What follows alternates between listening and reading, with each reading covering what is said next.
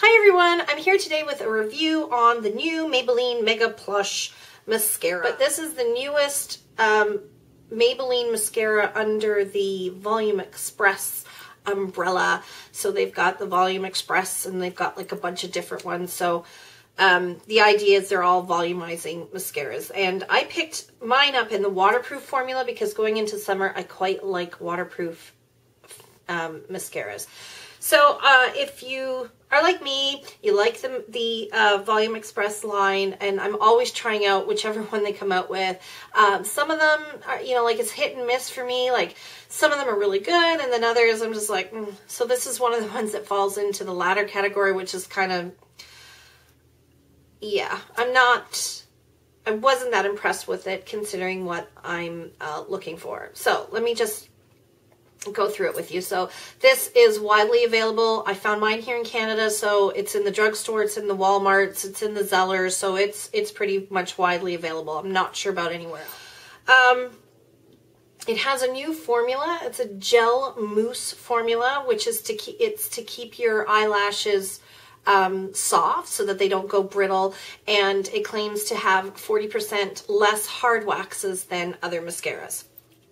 Price point um, it's around five or six dollars. I think it was six ninety six that I paid, so between five and seven dollars. And of course, if you go to buy it at a drugstore, it's probably going to be more expensive, but most definitely under ten dollars, which is great.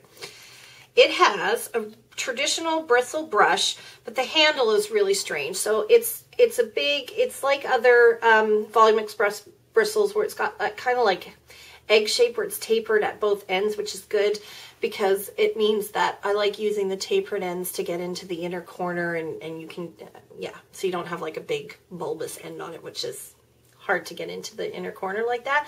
But it's got, if you can see here on like right, can you see that little join mark that's kind of in the in the middle of the brush? Well, the head on it is extremely so the head on this is extremely bendy and flexible. And I'm not exactly sure what the purpose is of that, but what I do know is it makes for application, it makes for a slightly tricky, tricky application. So because the, the, the brush is so bendy, so soft and flexible, I find it's not very good for going low on the lash line and then wiggling back and forth right at the lash line and pulling up. I find that it doesn't, it need, it's too flexible for that kind of back and forth wiggle. The best way to apply this is actually just to feather it through your lashes.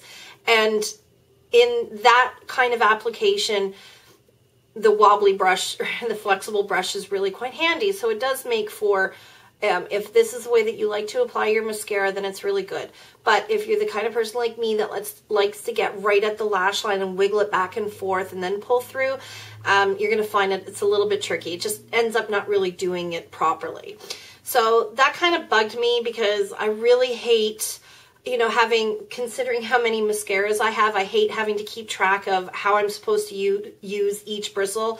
And I find Maybelline does that quite a lot. Like they'll come up with some sort of gimmicky handle or brush and it's like, well, this one you have to, you know, turn counterclockwise and stand on your head or what. I just, I like something that works right out from the get-go. Uh, a really good mascara, I don't mind if it's got a little bit of a, you know, like if I have to faff around with the brush a little bit if I really like the mascara, but I don't like this mascara enough to um, warrant, you know, the fussy application method. So, I will say that the gel mousse formula does leave your lashes soft. Um, it means that you can build quite a lot of coats on your lashes and your lashes won't stick together. They stay soft and separated and, you know, it's okay to, to build quite a few coats. Unfortunately, you need a few coats. I mean, it took me three coats to get to the point where I felt like my lashes were being volumized.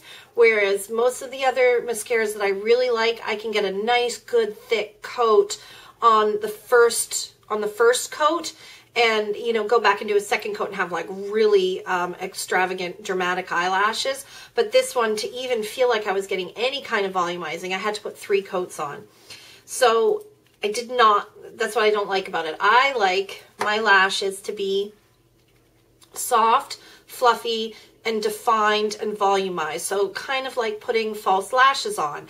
And I just, I don't get this, that kind of effect from this. I think if you like just kind of soft, natural looking lashes, then I think this is quite nice for that because it does give you soft, like when I say soft, I mean just kind of like fluffy, natural looking lashes, which is nice. So if that's the kind of look that you're going for, then I think I could recommend this for you. But if you're like me and you like more of an impact from your mascara and you like that really like dark, glossy, um, volumized lashes, then you're not going to get that with this. So I was disappointed because to me, Mega Plush you know, means that I should have like really nice, soft, dramatic lashes and like fluffy false lashes, and not going to get that here. So, um, yeah, I'm kind of I'm disappointed, and I'm I'm gonna have to give it a thumbs down if you're looking for mega lashes because you're not gonna get that with this mascara. Of course, I know you'll try it anyway because we all do. Even if somebody says, "Oh, I don't like it," you're gonna try it because you have to, right? You gotta see if you like it or not because we're always looking for that next, like, oh. Okay, so there you go. That's my two cents on the Maybelline Mega Plush or the Maybelline Volume Express Mega Plush mascara. Thanks for watching, guys, and we'll see you soon. Bye!